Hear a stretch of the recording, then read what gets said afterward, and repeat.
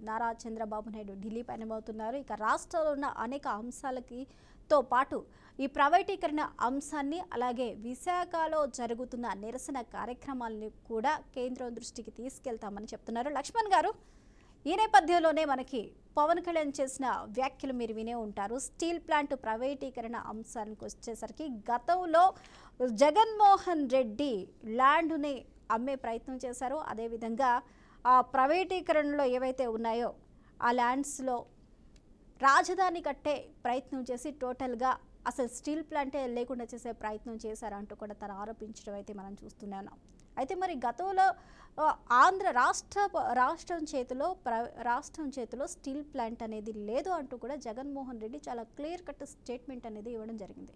రాష్ట్రం చేతిలో మేము చేయడానికి ఏమీ లేదని. మరి ఇప్పుడు దానిని నియంత్రిస్తాము అని కూడా గతంలో కూడా ఆయన చెప్పారు జగన్మోహన్ రెడ్డి. మరి ఇప్పుడు ఆయన ఈ పరిస్థితిని ఏ విధంగా తీసుకుంటారు? ఒక ప్రతిపక్షంలో ఉన్న వ్యక్తిగా మాజీ ముఖ్యమంత్రిగా ఆంధ్ర రాష్ట్రానికి చెందిన వ్యక్తిగా ఈ ప్రైవేటీకరణ ఆపడానికి ఆయన ఎలాంటి చర్యలు తీసుకుంటారంటారు? మీ పార్టీ పరంగా ఏం చేయబోతున్నారు? లక్ష్మణ్ గారు. రత్న గారు మీకు అలాగే ప్యానల్ ఉన్న పెద్దలకి బీఆర్కి న్యూస్ వీక్షలకి యాజమాన్య హృదయపూర్వక నమస్కారం అండి. నమస్కారం అండి చెప్పండి. గారు పంతొమ్మిది వందల ఎనభై రెండు ఆ రోజున మరి విశాఖ స్టీల్ ప్లాంట్ ఏర్పాటు చేశారు. ఆ రోజున మరి ఎంతోమంది బలిదానాలు దాదాపుగా ముప్పై తొమ్మిది మంది బలిదానాలు అవ్వడం జరిగింది యొక్క స్టీల్ ప్లాంట్ కాపాడడం కోసం. అక్కడ ప్రాంతాలు చూడాల రాయలసీమ అవనివ్వండి కోస్తా మొత్తం అందరూ కూడా ఒక తాటిపైకి రాష్ట్రం మొత్తం మీద ఉమ్మడి ఆంధ్రప్రదేశ్లో అందరూ కూడా ఒకే ప్రాంతం ఒకే భాష అన్నట్టుగా అందరూ కూడా ఒకే తాటిపైకి వచ్చి విశాఖ స్టీల్ ప్లాంట్ని కాపాడుకోవడం జరిగింది. అయితే విశాఖ స్టీల్ ప్లాంట్ నుంచి మనకి ఐదు పాయింట్ ఏడు ఏడు million tons hot hot metal అనేది ఒకటి వస్తుంది. అలాగే మనకి ఐదు పాయింట్ రెండు ఏడు మిలియన్ టన్స్ వచ్చి క్రూడ్ స్టీల్ ఒకటి వస్తుంది. ఐదు పాయింట్ వన్ త్రీ ఎయిట్ అని మిలియన్ టన్స్ సేల్ ఒక స్టీల్ అనేది రావడం జరుగుతూ ఉంది అంటే ఈ రకంగా ఉన్నటువంటి సప్లైలో మరి గత వేల సంఖ్యలో పనిచేస్తున్నటువంటి స్టీల్ ప్లాంట్ కార్మికులందరూ కూడా హఠాత్తుగా నాలుగు వేల ఐదు వందల మందిని మీరు తీసేయడానికి గల కారణమేంటి గతంలో ఇదే చంద్రబాబు నాయుడు గారు పవన్ కళ్యాణ్ గారు జగన్మోహన్ రెడ్డి గారు స్టీల్ ప్లాంట్ని ప్రైవేటీకరణ చేయడానికి అనుమతులు ఇచ్చేశారు. మోడీ గారికి ఆయన చెప్పిన మాట వింటూ ఉన్నారు. స్టీల్ ప్లాంట్ ప్రైవేటీకరణ అయిపోయిందని ప్రసారం చేసినటువంటి పవన్ కళ్యాణ్ చంద్రబాబు నాయుడు గారు అలాగే ఆ రోజున పవన్ కళ్యాణ్ గారు భారీ ఎత్తున ఒక సభ నిర్వహించి సభన సభలో మాట్లాడడం జరిగింది. మరి అదే పవన్ కళ్యాణ్ గారు యూ టర్న్ తీసుకున్నారు వెంటనే. మరి ఏం మరి మా మోడీ గారు ఫోన్ చేసి ఈయనకి సీఓట్లు పెట్టినట్టున్నారు. అయ్యా నాకెందుకు లేనిపోయిన విషయం అని చెప్పి అదే పవన్ కళ్యాణ్ గారు యూ టర్న్ తీసుకున్నారు. అంటే వాళ్ళే నమ్మారు. స్టీల్ ప్లాంట్ కార్మికులందరూ కూడా పవన్ కళ్యాణ్ గారు వస్తే ఏదో మాకు చేస్తారు ఆయన మాట్లాడతారు రాజకీయాల్లో కొత్తగా వరవడిగా వచ్చారు కాబట్టి ఆయన న్యాయం చేయగల చేయగలరు అని అనుకుంటే నమ్మించిన వాళ్ళని ఒక వర్గం సెక్టర్ అంటే అక్కడ నాలుగైదు వర్గాలు ఉన్నాయమ్మా. స్టీల్ ప్లాంట్ కార్మికులందరూ కూడా వాళ్ళకు ఒక సెక్షన్ కొంతమంది పార్టీకి కొంతమంది ప్రతిపక్షానికి కొంతమంది స్వతంత్రంగా కొంతమంది సిపిసి ఏఐటీసీ ఇవన్నీ ఉంటాయి. అంటే ఎవరో ఒక్క కార్యాచరణ వాళ్ళు చేస్తూ ఉన్నారు. ఎవరో ఒక్క ధర్నాలు వాళ్ళు చేస్తూ ఉన్నారు. వాళ్ళందరూ కూడా ఆ యొక్క కార్యక్రమాన్ని విశాఖ స్టీల్ ప్లాంట్ ప్రైవేటీకరణ అవ- అవగాహన చేస్తున్నటువంటి పోరాటంలో వీళ్ళు ఇచ్చిన మాటలు పక్కన ప- పడదామని పెట్టేసి పదకొండు లక్షల కోట్ల రూపాయలకి పదకొండు లక్షల కోట్ల రూపాయలకి ఈ రోజున బేరం పెట్టేసి విశాఖ స్టీల్ ప్లాంట్ను కూడా ప్రైవేటీకరణ చేపించేసి మధ్యలో శ్రీవారు ఒక విషయం తీసుకొచ్చి మైండ్ సెట్ని లక్ష్మణ్ గారు పదకొండు లక్షల పదకొండు లక్షల లక్ష్మణ్ గారు పదకొండు లక్షల కోట్ల రూపాయలకి ఎవరు ఎవరికి బేరం పెట్టారు? Steel plant. చంద్రబాబు నాయుడు గారు జగన్మోహన్ రెడ్డి గారు ఎవరికి? చంద్రబాబు నాయుడు గారు Chandrababu Naidu. Chandrababu Naidu at the same time Jaganmohan Reddy.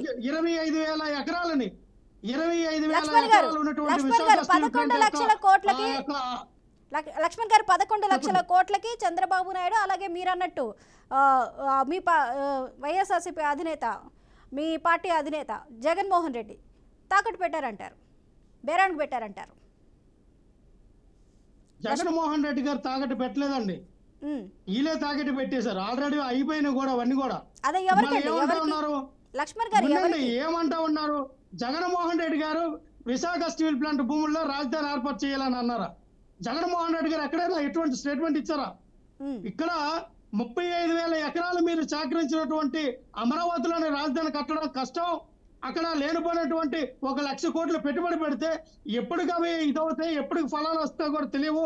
ఒక ఐదు వేల కోట్ల రూపాయలు వైజాగ్లో పెట్టుబడులు పెడితే మహానగరంగా అక్కడ రాజధానిగా ఎప్పుడో అయినటువంటి చరిత్ర వైజాగ్ ఉంది. అక్కడ ఉన్నటువంటి కఠిన భవనాలు ఉన్నాయి. అందుకనే మనం అక్కడి నుంచి పరిపాలించవచ్చు. పరిపాలన ఈజీగా ఉంటుందని జగన్మోహన్ రెడ్డి గారు చెప్పడం జరిగింది. అంతేగాని విశాఖ స్టీల్ ప్లాంట్ భూమిలో మేము బిల్డింగ్లు కడతాం. పరిపాలన అక్కడే చేస్తామని ఎవరన్నా ఎందుకు ఇటువంటి తప్పుడు ప్రసారాలు ప్రజల్లోకి తీసుకెళ్తారో నాకు అర్థం కావట్లేదు. పవన్ కళ్యాణ్ అనే వ్యక్తి ఒక సేటరన్గా అర్థమవుతా ఉంది ఎందుకంటే ఆయన పార్టీ పెట్టినప్పుడు సెక్యులరిజం మాట్లాడాడు. పార్టీ ఈ రోజున డిప్యూటీ సీఎం అవగానే ఒక కాసేపు రంగు వేసుకొని ఒక బుడబొక్కల్లాగా లేదంటే ఒక ఒక డేరా బాబా లేకపోతే ఇంకో బాబా నిత్యానంద స్వామిలాగా తయారయ్యాడు. ఓకే లక్ష్మణ్ గారు లక్ష్మణ్ గారు. లక్ష్మణ్ గారు ఆ లడ్డు అంశాల గారు గురించి టీటీడీ అంశాల గురించి మళ్ళీ చేద్దాం. లక్ష్మణ్ గారు. డిప్యూటీ సీఎం పదవి నుంచి రాజీనామా చేయించాలా? ఎందుకంటే ఒక భారత రాజ్యాంగం విలువగల ఒక అధికారంలో ఉండేటప్పుడు ఒక కులానికో ఒక ప్రాంతానికో ఒక వ్యక్తికో అనుకూలంగా మాట్లాడడానికి రైట్స్ లేవు. ఒక రాజకీయ నాయకుడిగా ఒక అధికార పదవిలో ఉండేటప్పుడు ఒక అధికారికి కూడా అలాంటప్పుడు మీరు ఎలా తీసుకుంటారు స్టాండ్స్ ఎలా మాట్లాడతారు నాకు అర్థం కావట్లేదు. ఎవరు మనోభావాలు దెబ్బతీయడానికి మాట్లాడుతారో అర్థం కావట్లా ఈ రోజున విశాఖ స్టీల్ ప్లాంట్ చాలా మంది ఈ రోజున ఏ వన్గా పవన్ కళ్యాణ్ గారిని ఏ టూగా చంద్రబాబు నాయుడు గారిని ఏ త్రీగా నరేంద్ర మోడీ గారిని పురంధేశ్వరి గారిని పెట్టి మీరు అరెస్ట్ చేయాలని ఎక్కడ పడితే అక్కడ పాంప్లెట్లు పంచుతా పెద్ద పెద్ద ఫ్లెక్స్లు వేస్తే చిక్కుండాలి వీళ్ళకి. అరే ఇంతలాగా వీళ్ళు ఉసిరి పెడుతూ ఉన్నామే. ఎన్నో సంవత్సరాల నుంచి ఆ యొక్క విశాఖ ఉక్కు కార్యక్రమాన్ని ఆ నమ్మి పనిచేస్తా ఉన్నారే వాళ్ళ పట్టణం మనం కొడుతూ ఉన్నాం. ఇది సమయమైనా మన రాష్ట్రంలో చెప్పుకోదగ్గ అతిపెద్ద కర్మాగారం పరిశ్రమ ఏదైనా ఉందంటే విశాఖ ఉక్కే. ఆ విశాఖ ఉక్కు కూడా ఇంకా ప్రైవేటీకరణ చేసిస్తే ఏమవుతుందో నాకు అర్థం కావట్లేదు అంటే ఇక్కడ క్రిస్టల్ క్లియర్గా అర్థమవుతుందమ్మా. సంస్థలన్నీ కూడా ప్రైవేటీకరణ అయిపోతే రిజర్వేషన్ ఎత్తివచ్చు. సంస్థలు అంటే అన్నిట్లు కూడా అది హాస్పిటల్ నా ఇంకోట ఇంకోట ప్రైవేటీకరణ చేస్తే రిజర్వేషన్లు ఉండవు. అంటే మోడీ గారి యొక్క ఆలోచన విధానాన్ని పవన్ కళ్యాణ్ చంద్రబాబు నాయుడు గారు ముందుకు తీసుకెళ్ళడానికి అధికారంలోకి వచ్చారా. అధికారంలోకి వస్తే భారత రాజ్యాంగం లేకుండా చేస్తానన్నట్టు మోడీయే యూ టర్న్ తీసుకున్నాడు. యూ టర్న్ తీసుకున్నాడు. అంత ఆశామాస్ కాదండి. ఎవరు పరిపాలనించినా ఎవరు మాట్లాడినా భారత రాజ్యాంగం అనుగుణంగా నియమ నిబంధనలకు అనుగుణంగానే మాట్లాడాలి ఆ విధంగానే పరిపాలించాలా ఓకే లక్ష్మణ్ గారు ఒక్క నిమిషం హోల్డ్ ఉండండి అంటేనే మీ అంబేద్కర్ లక్ష్మణ్ గారు. ఎప్పుడైనా చంద్ర ఆ జగన్మోహన్ రెడ్డి గారు ఎప్పుడైనా స్టేట్మెంట్ ఇచ్చారమ్మా ఓకే, లక్ష్మణ్ గారు, ఒక్క నిమిషం అండి. లక్ష్మణ్ జగన్మోహన్ గారు. రెడ్డి గారి మీద మా ప్రభుత్వం మీద మీరు అధికారంలోకి వచ్చి గుట్టుకోవడానికి పలు లక్ష్మణ్ గారు, ఒక్క నిమిషం ఉండండి. లక్ష్మణ్ గారు. పని ఎందుకు వచ్చిందో లక్ష్మణ్ గారు.